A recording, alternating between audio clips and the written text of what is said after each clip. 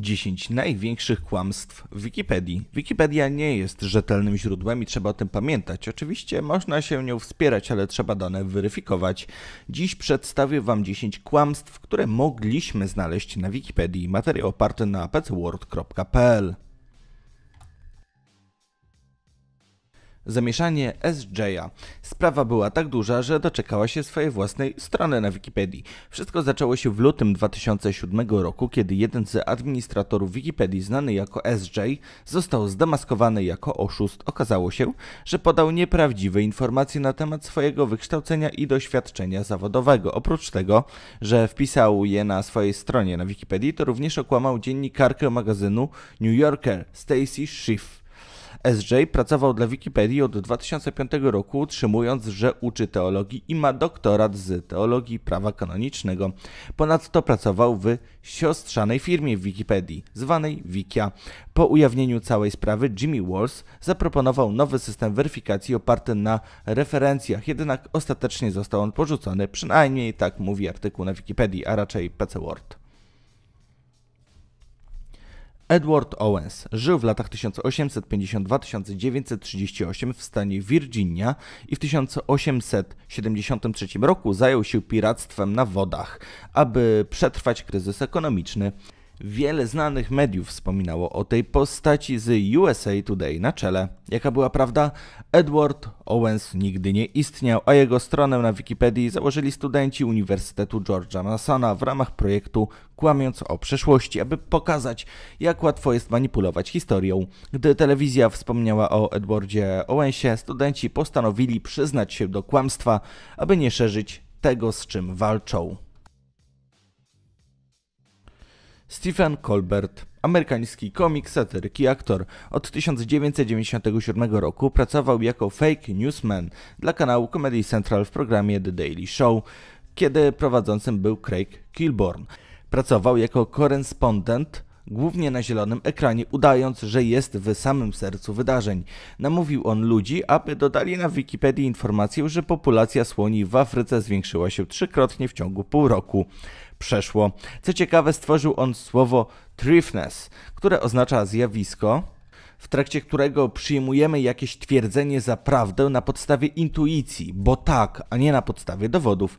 I właśnie taki thriftness jest problemem w uświadamianiu ludziom historii. Niestety i na tym opiera się też Wikipedia. Sinbad. David Atkins, znany jako Sinbad, to amerykański komik, który zyskał wielką sławę w latach 90. dzięki występom w specjalnych produkcjach HBO. Wikipedia podała informację o śmierci 50-letniego komika Sinbada. Mężczyzna dostał szybko całe mnóstwo maili, listów i telefonów, w tym od swojej córki. Z czasem takich akcji pojawiło się więcej. Fałszywą śmierć dopisywano m.in. Miley Cyrus, Paulowi Racerowi czy Sergejowi Birnowi, a nawet senatorowi Edwardowi Kennedy'emu, który zmarł faktycznie zaledwie kilka miesięcy po fake newsie. John Sigenthaler. W maju 2005 roku nieznany redaktor Wikipedii napisał fałszywy artykuł, w którym znalazła się informacja mówiąca, że 78-letni amerykański dziennikarz John Sigenthaler jest podejrzany o zabójstwo prezydenta Johna Kennedy'ego i prokuratora generalnego Roberta Kennedy'ego. Przez cztery miesiące nic się nie dało z tym zrobić. W końcu jednak sprawa została wyjaśniona na łamach USA Today. Ken Jennings. Mężczyzna odkrył bardzo ciekawą informację na Wikipedii. O co chodzi? Jest taka znana sieć sklepów z napojami Orange Julius, zaś jej założycielem jest Julius Friedel. Pan Jennings natknął się na informację na Wikipedii, że Friedel wynalazł kabinę prysznicową dla gołębi. Oczywiście zweryfikował tę informację i podał do opinii publicznej, że jest to kłamstwo. Jaki problem? Informacja ta wisiała na Wikipedii 5 lat. Pytanie, ile jeszcze bzdet jest na Wikipedii? Shane Fitzgerald. W 2009 roku znalazł się student, który postanowił pokazać, że dziennikarze mają najprawdopodobniej alergię na potwierdzanie informacji z Wikipedii. Shane Fitzgerald, student Uniwersytetu Dublińskiego, umieścił sfabrykowany cytat w artykule dotyczącym zmarłego niedawno kompozytora, o którym akurat rozpisywały się media. Napisał tam, Cytat, który brzmiał tak: Można powiedzieć, że moje życie było jedną długą ścieżką dźwiękową. Muzyka była moim życiem, muzyka dała mi życie i muzyka jest tym, dzięki czemu zostanę zapamiętany na długo po mojej śmierci. Kiedy umrę w mojej głowie, usłyszał ostatni walc idealne do gazet, prawda? The Guardian zacytował te słowa i potem owy student przyznał się do mistyfikacji, a teraz zastanówcie się, ile cytatów z internetu wzięliście i skąd macie pewność, które są prawdziwe. Naprawdę, cytaty to jest tragedia w internecie. Jak pewnie wielu z Was wie, bo wspominałem o tym na Światowej Historii, pisałem pracę naukową na temat rewolucji kubańskiej i w internecie jest cała masa rzekomych cytatów z dzienników Che Guevary, a ja te dzienniki przejrzałem i przeczytałem i nawet nie uwierzycie, jak treść jest zmanipulowana, wyrwana z kontekstu, zmieniona, czy po prostu zmyślona. Naprawdę ładnie się manewruje słowami w internecie. Rush Limbaugh. W 2010 roku Limbaugh spędził trochę czasu na rozmowach z Rogerem Winsonem, sędzią federalnym zaangażowanym w ustanowienie nowej ustawy zdrowotnej.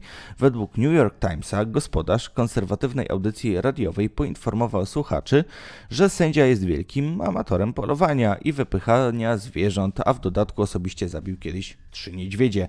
W rzeczywistości sędzia Winson nigdy w życiu nie strzelił z broni palnej. Skąd więc informacja że Roger Winson jest myśliwym, wszystko było spowodowane tym, że Rush Limbaugh przeczytał zmyślony artykuł na Wikipedii. Oczywiście na Wikipedii było podane źródło Pan Scola News Journal, ale okazało się, że taki artykuł nigdy nie istniał.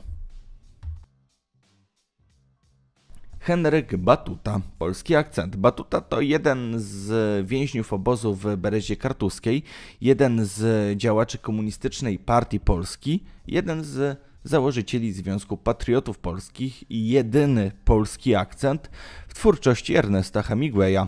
Urodził się w 1897 roku w Odessie jako Isaac Apfelbaum, natomiast zmarł w 1947 roku w trakcie walk z UPA pod ustrzykami górnymi. Jego osobie poświęcona jest ulica w Warszawie. Po 1989 roku pojawiły się liczne głosy, by zmienić jej nazwę, jednak do zmiany nie doszło. Problem? No, wcale nie to, że był komunistą. Chodzi o to, że Henryk Batuta po prostu nie istnieje. Cała postać została zmyślona, niemniej hasło o niej pozostawało niezauważalne w Wikipedii przez blisko 15 miesięcy, kiedy to po raz pierwszy zgłoszono je do usunięcia. Po ponownym zgłoszeniu 1 lutego i dyskusji na odpowiedniej stronie artykuł został skasowany 5 lutego, na trzy dni przed pojawieniem się artykułów prasowych na ten temat. Tony Blair, były minister Wielkiej Brytanii, Tony Blair, powiedział, że będąc nastolatkiem trzymał w swojej sypialni portrety Hitlera. Tak, to też kit. Nic takiego nie miało miejsca. Artykuł na Wikipedii był. W tej chwili trudno nawet znaleźć dowód na to, że te słowa faktycznie były na Wikipedii, ale wzmianka o tym pojawia się na tylu stronach, że taki wpis po prostu musiał kiedyś istnieć, albo jest to inny bardzo ciekawy fake news, tyle że fake news mówiący o tym, że fake news kiedyś była, go nie było. Tak? To, to też jest możliwe. Dzięki za obejrzenie do końca. Mam nadzieję, że ten odcinek Wam się podobał. Dajcie znać w komentarzu, o czym chcielibyście kolejną dyszkę i koniecznie zostawcie łapkę w górę oraz komentarz, ponieważ to pozycjonuje kanał, a ostatnio pozycjonowanie dyszki się zmniejszyło niestety. A w ogóle na koniec ciekawa historia, taka anegdotka, dodałem tutaj film 10 największych obozów koncentracyjnych. Oczywiście krytykuję obozy koncentracyjne i tak dalej. Po prostu podliczam ich ofiary na podstawie tam jakiegoś źródła i szereguję te obozy. I wiecie co? Zostało to uznane za mowę nienawiści. Kurde jak, przepraszam. No naprawdę. Zajrzyjcie na światową historię, tam też wielu filmów niestety nie ma. Na przykład powiedziałem, że salut rzymski jest symbolem złym, bo nie wywodzi się z Rzymu, tylko od faszystów i to też jest szerzenie mowy nienawiści. A co ciekawe, kiedy wspomniałem z jednych film, w jednym z filmów o gejach, że no, trochę się za bardzo panoszą w polityce, to już nie była mowa nienawiści. Także widzicie, gejów można obrażać w internecie, a faszystów nie. YouTube jest chyba trochę faszystowski, tak mi się wydaje. Przynajmniej tak zauważyłem ostatnio. Dzięki za obejrzenie do końca Światowa Dyszka, Światowa Historia. Zapraszam, trzymajcie się. Cześć!